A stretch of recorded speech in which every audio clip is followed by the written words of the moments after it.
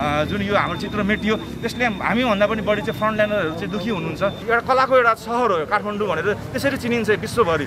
जुन त्यो एउटा कलालाई जुन एउटा चाहिँ अपमान हुने काम भएको छ फ्रन्टलाइनरलाई जुन अपमान हुने काम भएको छ त्यो कुरामा चाहिँ हामीले चाहिँ मेयर साहबलाईबाट पनि हामीले चाहिँ उत्तर हामीलाई मेयर साहबबाट अझै पनि आइरहेको अवस्था छैन। मेयर साहबकै मुखबाट चाहिँ हामी सुन्न चाहन्छौँ।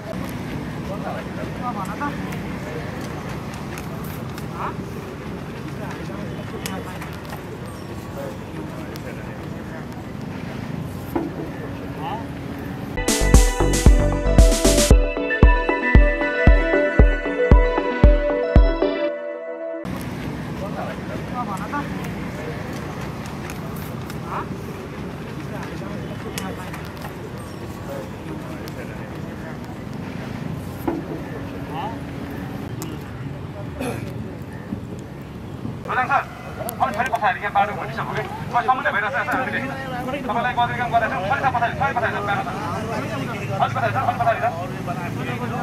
अलिक अलिक चाहिँ कि फरक पर्दैन सर तपाईँ आइपुग्दै हुनुहुन्छ है त?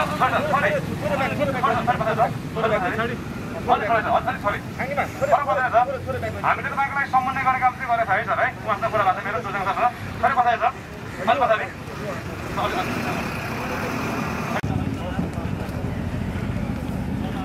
हाम्रो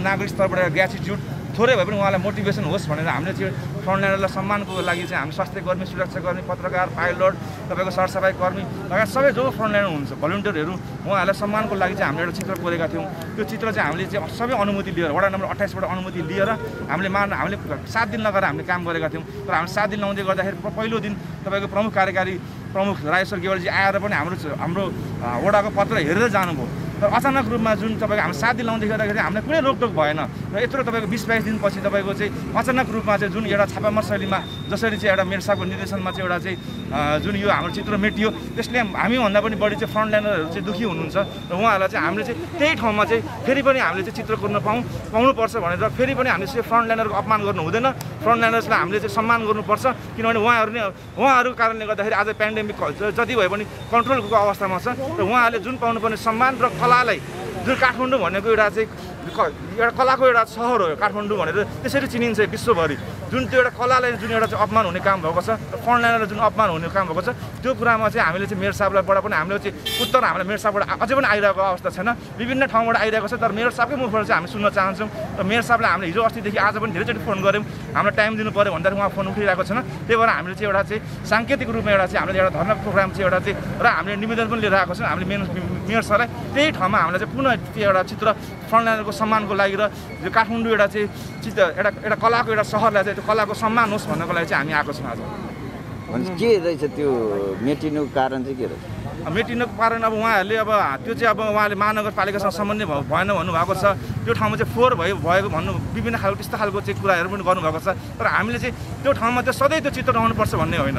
हाम्रो चाहिँ कमसेकम यो कोभिडको समयमा जुन कोभिडको समयमा अहिले पनि तपाईँको जुन ज्यान जोखिम राखेर तपाईँको चाहिँ तपाईँको स्वास्थ्य कर्मीहरू सुरक्षा कर्मीहरू जसरी खट्नु भएको छ उहाँहरूले चाहिँ उहाँ कमसेकम उहाँहरूले त्यो चित्र हेर्दै गर्दाखेरि थोरै भए पनि प्रोत्साहन होस्। उहाँहरूको तपाईँको चाहिँ जुन एउटा चाहिँ परिवारले त्यो चित्र हेर्दै गर्दाखेरि ए कमसेकम मेरो चाहिँ मेरो चाहिँ छोरा मेरो छोरी मेरो चाहिँ बुढा मेरो मेरो श्रीमती तपाईँको चाहिँ तपाईँको देशलाई आवश्यकता पर्दाखेरि चाहिँ तपाईँको जुन एउटा फ्रन्ट लाइनमा खट्नु खट्नु भएको थियो। भन्ने एउटा त्यो हौसला प्रदान होस् भनेर चाहिँ हामीले त्यो चित्र कोरेका हौँ। तर उहाँले चाहिँ त्यो चित्रमा चाहिँ एक ठाउँमा त्यो एक एक ठाउँमा अश्लीलको अ र राजनीतिको र एक ठाउँमा देखाउनुहोस्। म सबैजनासँग म माफी माग्न चाहन्छु। तर यदि त्यो चित्रमा त्यस्तो कुनै खालको छैन भने त्यो चित्रलाई हामीले फेरि त्यही ठाउँमा चाहिँ त्यही चित्र हामीले कोर्न पाउनुपर्छ भन्ने हाम्रो माग हो। जुन हामीले चाहिँ चित्र जुन यो पेन्डेमिकमा तपाईँको पेन्डेमिक हामी सबैको लागि नयाँ हो। तर हामी लकडाउनमा हामी घर बस्दै गर्दाखेरि हाम्रो लागि ज्यानको बाजी राखेर खट्ने भनेको स्वास्थ्य कर्मी सुरक्षा कर्मी पत्रकार पनि सम्मान। थोरै भए पनि उहाँहरूलाई चाहिँ एउटा हौसला प्रदान होस् त्यो चित्रले कमसेकम त्यो हेर्दै गर्दाखेरि थोरै भए पनि एउटा चाहिँ जुन गर्व हुन्छ र मैले पनि मेरो देशको निम्ति चाहिँ मैले यो यो समयमा चाहिँ एउटा चाहिँ मैले योगदान गरेको थिएँ भने त्यो त्यो हामीले चित्र बनाएको थियौँ। तर त्यो चित्र हामीले त्यो सबै हामीले चाहिँ प्रक्रियाहरू पुरा गरेर यही वडा नम्बर अठाइसकोबाट चाहिँ वडा अध्यक्षकोजीबाट हामीले सिफारिस लिएर हामीले सात दिन लगाएर घाम पानी नभइकन हामीले काम गरेका थियौँ। तर हामीले काम गर्दै गर्दाखेरि पहिलो दिन पहिलो दिन तपाईँको चाहिँ यही महानगरपालिका कार्यकारी प्रमुख राजेश्वर गेवालीजी आउनुभयो र हेर्नुभयो र मलाई सोध्नुभयो। उहाँले सोध्दै गर्दाखेरि मैले वडा नम्बर अठाइसको उहाँलाई मैले पत्र देखाएँ। त्यो पत्र देखाइसकेपछि उहाँले "ल, ठिकै छ भनेर जानुभयो। तर अचानक रूपमा तपाईँको जुन यो पेन्डेमिक हाम्रो चाहिँ माग भनेको यो पेन्टिङ तपाईँको सधैँभरि त्यहाँ रहनुपर्छ भन्ने होइन। तर कमसेकम यो पेन्डेमिक यो कोभिड नाइन्टिन हुन्जेलसम्म त्यो चित्र त्यहाँ रहँदाखेरि के बिग्रिन्थ्यो? कमसेकम त्यो चित्र त्यहाँ त्यो पनि हामीलाई बिना नोटिस जुन गुरिला शैलीमा आएर त्यो जुन चित्र मेट्ने काम भयो यसले हामीलाई भन्दा पनि हाम्रो त्यो जुन फ्रन्ट लाइनमा खट्ने जुन फ्रन्ट लाइनरहरू हुनुहुन्छ तपाईँको स्वास्थ्य कर्मीहरू यति दुखित हुनुहुन्छ सुरक्षा कर्मीहरू यति दुखित हुनुहुन्छ तपाईँ त्यहाँ गएर एकचोटि त सोद्धा पनि हुन्छ। त्यहाँको चाहिँ जो चौध घन्टादेखि ड्युटी गर्ने सुरक्षा कर्मीहरूलाई तपाईँले सोद्धा पनि हुन्छ। उहाँहरू कति दुखित हुनुहुन्छ त्यो चित्र कमसेकम थोरै भए पनि त्यसले एउटा चाहिँ उहाँहरूलाई चाहिँ कमसेकम नागरिक स्तरबाट हाम्रो हाम्रो एउटा एउटा चाहिँ हाम्रो एउटा कर्मलाई सम्मान भएको थियो भन्ने त्यो थियो। तर जुन त्यो एउटा चाहिँ एउटा गुरिला स्टे शैलीमा एउटा त्यो चित्र त्यो मेट्ने काम भयो बिना नोटिस तपाईँको चाहिँ न वडा अध्यक्षलाई नोटिस छ न हामीलाई नोटिस छ जसले हामीले चित्र कोरेका थियौँ त्यो चित्र हामीले फेरि पनि त्यही ठाउँमा पेन्डेमिक रहन्जेलसम्म हामी त्यो चित्र त्यो ठाउँमा हामी हामीले कोर्नु पाउनुपर्छ। फ्रन्ट लाइनरहरूलाई हामीले सम्मान गर्नुपर्छ जसको ला फ्रन्ट लाइनर भनेको हाम्रो लागि यी समयमा भगवान् हुन्। हाम्रो ब्रह्मा विष्णु महेश्वर बुद्ध सबै उहाँ उहाँहरू नै हुन्।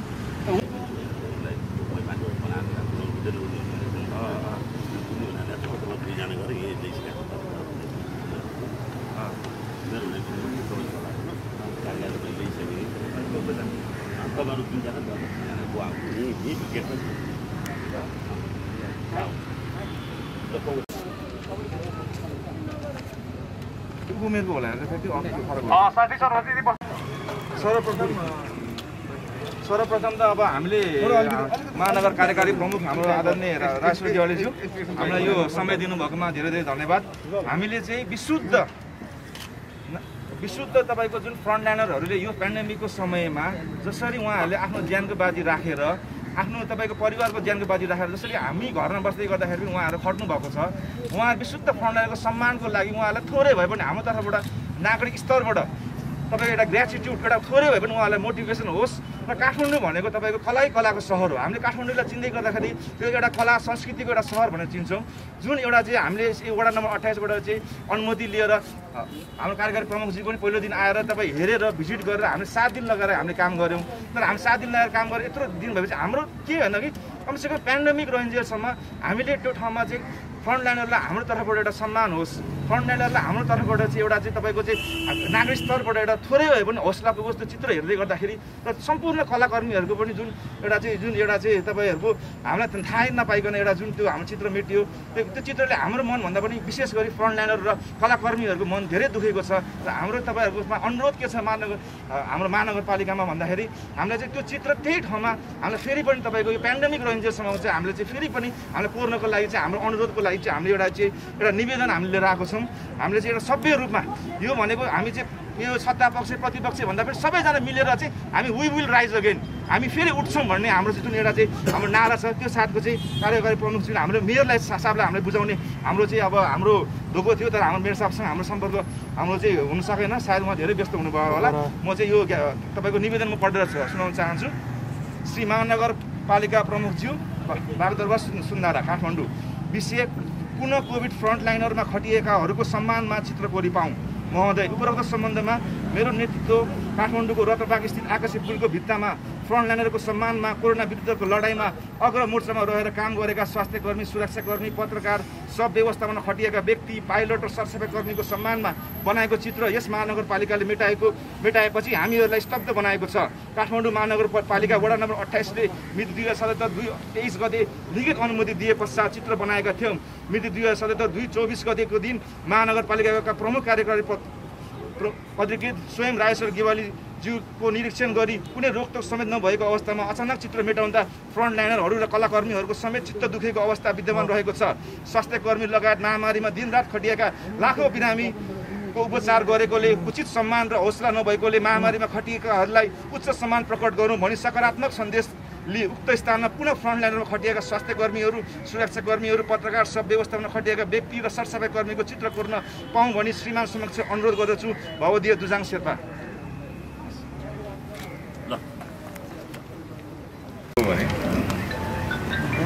महानगरपालिकाभित्र महानगरपालिकाको महत्त्वपूर्ण ठाउँहरूमा कुनै पनि कामहरू गर्दाखेरि महानगरपालिका केन्द्रबाट स्वीकृति र सहमति आवश्यक पर्दछ। यो चित्र अत्यन्त सुन्दर चित्र थियो। चित्रको बारेमा हामी कसैले पनि केही भन्दैनौँ राम्रो थियो। र म अफिस आउने क्रममा बनाउने क्रममा चाहिँ म आफैले गाडी रोकेर के हो कस कसको अनुमतिले बनाएको भनेपछि उहाँहरूले वडाको भन्नुभयो। केन्द्रको पनि चाहिन्छ है यो चाहिँ अलिकति कोअर्डिनेट गर्नुहोस् भनेर मैले भनेर हिँडेको थिएँ।